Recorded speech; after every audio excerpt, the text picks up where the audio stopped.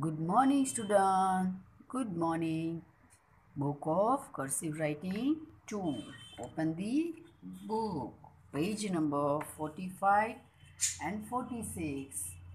Today's date here 10 to 21. Press and write the letter S. S for star. S for star. Slant line, curve line. S. S for sun. S for sun. S for sun.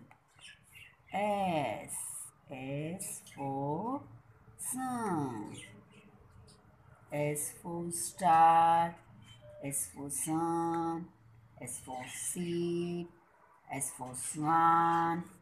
S for star. S for star. S for star. S for star. S.